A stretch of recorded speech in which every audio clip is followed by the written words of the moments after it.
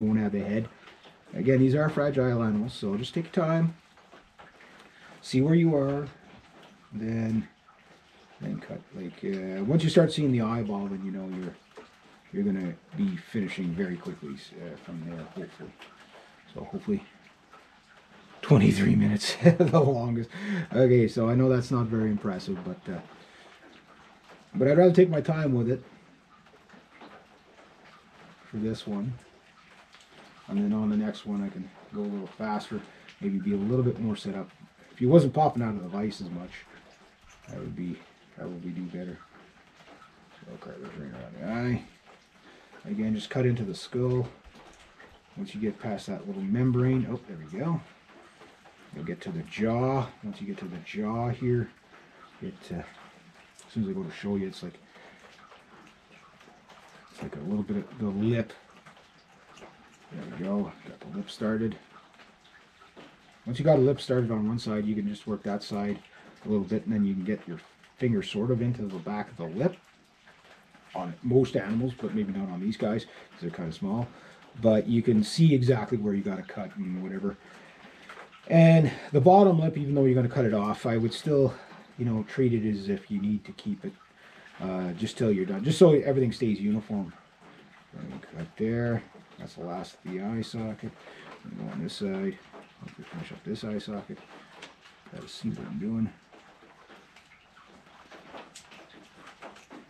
There we go. Little flicks. Little flicks. So, still quicker than the otter. 10 million times easier.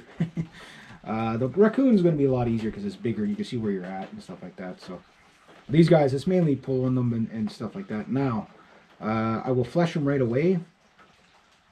And the fleshing part, I've seen a couple of different methods. One method is uh, basically uh, get him on the, okay, just about done. Hang on, he's about to go flying. We're almost done. Past the eyes. Got that lips being a little stubborn. A little stubborn, but not bad. Not bad. He's a great little guy. These are awesome little animals. Quite a little, like I say, they'd be terrifying if they were 12 feet tall. Very terrifying. Quite the vicious little predator. Uh, ferrets are also uh, related to them. They are smart. Mink are very, very smart. They're very cunning. They will kill other weasels.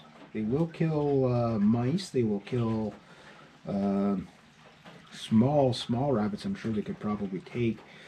Maybe not too big of a rabbit, but they, will probably kill that. They uh, will kill muskrats. They will kill again, like they're they're, uh, they're of for their size. Like uh, I don't know who would win. I think the mink would win over the uh, marten. They're just a tad bit. You know, they're one weight class up from a marten. You know what I mean? So if I, if I was betting man, You know, it's kind of like Mink and Marten's kind of like Mike Tyson and Butterbean. You know what I mean? Uh, both are super heavyweights, right? So, and uh, yeah, so I know it's a little older now. So get my finger in here, and uh, heck, I can pretty much pull the rest off down to his nose. And uh, the slowest mink uh, fleshing. Got coming here. Don't slide into the ground. Our yard's all ice.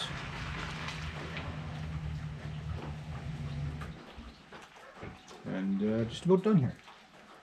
Hey! How's it going? Oh, man.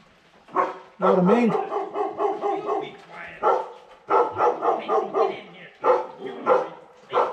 Anyway, I'm right up there.